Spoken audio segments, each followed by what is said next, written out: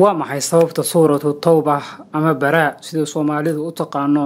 Aysan u lahayn bismillaahi raxmaani raxiim amaba aysan uga bilaaban bisimka alle miyay bannaan tahay in suuratu baraa amaba markaasi suuratu tawba laga bilaabo amaba lagu bilaabo magaca alle. Bismillaahi raxmaani raxiim maxaase ka dhalan kara arrinkani waa maxay sirta ka dambeysa in suuradan aysan ku bilaaban magaca alle? Bismillaahi raxmaani raxiim waa maxay xikmada arrinkan ka dambeysa maxay saxaabadu ka yidhaahdeen nebiguse muxuu arrinkan ka yidhi su'aalahaas iyo kuwo kale ayaan muuqaalkan uga jawaabayaa. Ee marka hore daawade fadlan ku xirnow janalkaas soo hoyday borkas adigoo muuqaalkan saaxiibadaada la wadaagaya si uu wax uga bedelo wacyigooda aqooneed ee ku saabsan arrimaha diinta. Ku mahadsanid daawashada muuqaalkan. Ilaahay subxaana wa tacaala ayaa xumaan oo dhankan nasahan qur'aanku waa kitaabka samaawiga ah ee markaasi ka soo degay xagga alleh isagoona uu ku soo degay nabigeena moxamed sala allahu calayhi wasalam dhammaan suuradaha qur'aanku waxay ku bilowdaan magaca alleh iyagoo ku bilaabanaya bismillaahi araxmaani araxiim marka laga reebo suuratu tawba amaba baraa dhammaan suuradaha marka laga reebo baraa waxay ku bilowdaan magaca alleh bismillaahi araxmaani araxiim haddaba maxaa suuratu baraa ay u tahay bisin la'aan amaba aan loogu bilaabin bisimka alleh waa maxay sababta arrinkan ka dambeysa marka hore aan isla fahanno suuratu tooba waxay tahay. Suuratu tooba waxay ka mid tahay suuradaha markaasi sida aadka uga hadla xaaladaha munaafiqiinta waana suurad soo gebagabeyneysa cahdigii muslimiinta markaasi kala dhexeeyey qaar ka mid a carabta iyadoona suuraddaas ay tahay suurad ka hadlaysa jihaadka. Haddaba maxay bisin la'aan u tahay waxaa jira aqwaal kala duwan oo ka hadlaya arrinka arrinka ay bisin la'aanta u tahay suuratu towba aqwaasha koowaad aan soo qabanno qowlka koowaad wuxuu leeyahay ama hadalka koowaad ee laga wariyay saxaabada in suuratu towba ay tahay suurad dhammaystiraysa suuratu anfaal islamarkaasina ay tahay mid ayada la socota. Sidaas darteedna marka kitaabka la qorayay aan markaasi wax kala soocida loo samayn. Bismillaahi raxmaan markaasi aan lagu darin maadaama ay tahay qeyb iyada ka mid ah. Suuratu towba waxay ka mid tahay suuradihii ugu dambeeyey ee ku soo dega nebi maxamed sala allahu calayhi wasalam waxayna diiradda saareysaa arrimaha dagaalka. Sidoo kale suuratu towba kadib nebigu waa uu geeriyooday iyadoona suurado qura ay ka dambeeyeen isagoo aan si toosa loo weydiin sababaha iyo sidoo kale arrinka laga yeelayo qoraalka suuradani.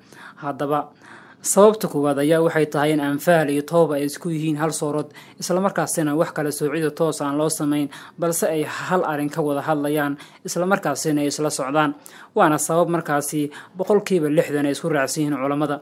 Sababta kale ee cajiibka ayaa waxay tahay suuratu tooba waa suurad ka hadlaysa dagaalka waana suurad markaasi burinaysa cahdi ay kala galeen muslimiinta iyo sidoo kale gaalada iyadoona si toosa u beeninaysa bannaankana u sheegaysa in ilaahay iyo rasuulkiisa ay beri ka yihiin wax walbo ay munaafiqiinta dhoodhoobayaan baraa'atu min allaahi wa rasuulihi. Waa suurad si toosa u sheegaysa in dagaal uu jiro.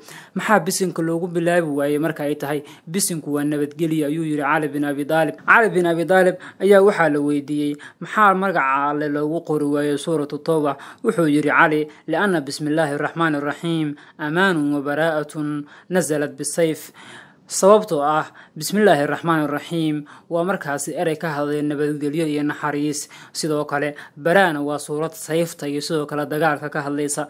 Haddaba isma qaadanayaan. Sababta kale ayaa waxay tahay in carabtu ay lahaayeen markaasi dhaqan ah marka ay burinayaan amaba ay soo gebagabeynayaan arrin ka dhexeeyey amaba markaasi heshiis ay hore u galeen. Heshiiskaas in la soo qoro warqadda lagu gebagabeynayo warqadaasna laguma bilaabi jirin magac. Cali bin abi daalib ayuu nebigu sala allahu calayhi wasalam u dhiibay suuradani isagoo yidhi utag gaalada oo markaasi ku dul akhri. Cali wuxuu markaasi gebi ahaanba ka reebay suuradda bismillaahi raxmaan raxiim inuu ku bilaabo. Sababtoo ah dhaqanka carabta ayaa wuxuu ahaa markii heshiis la gebagabeynayo amaba lagu kala tegayo in naxariis iyo sidoo kale magaca alle aan lagu bilaabin. Maadaama suuraddu ay tahay suurad dagaal cali oo si toosa loo weydiiyey arrinkanna wuxuu sheegay in bara ay tahay suurad dagaal bismillaahi araxmaan iraxiimna uu yahay magac sharfan oo ilaahay subxaana wa tacaala uu leeyahay islamarkaasina naxariis iyo nabadgelyo tilmaamaya sidaas darteed iyada oo makaan dagaal lagu jiro waxaan habboonayn in markaasi raxmaan raxiim magacyada naxariista ilaahay lagu dul akhriyo. Sidaas darteed suuraddan ayaa goodin ku bilaabanaysa isagoo ilaahay uu leeyahay baraa'atun min allaahi wa rasuulihi. Ilaahay iyo rasuulkiisa waxay beri ka yihiin. Suuraddan ayaa hanjabaad toosa iyo sidoo kale caddayn go'aan la caddaynaya ka bilaabanaysa.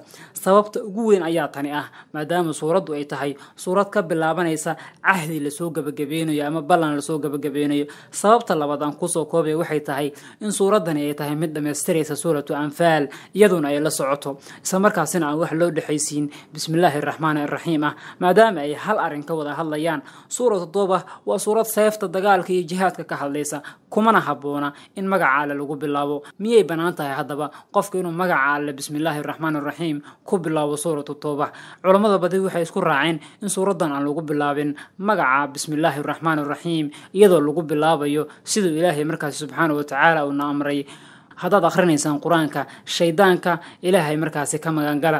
Iyadoona markaasi keliya suuraddan marka aad bilaabaysid acuudu billaahi min ashaydaani rajiim aad ku bilaabayso adigoo bisinka markaas gebi ahaanba aan ku bilaabeyn sidaas ayay culammadu badi isku raaceen. Ilaahay xikmad ayuu ka leeyahay wax weliba fadlan daawadee haddii muuqaalkan uu kula muuqdo mid wax ka bedelaya wacyiga diineed ee bulshada la wadaag saaxiibadaada ku mahadsani daawashada muuqaalkan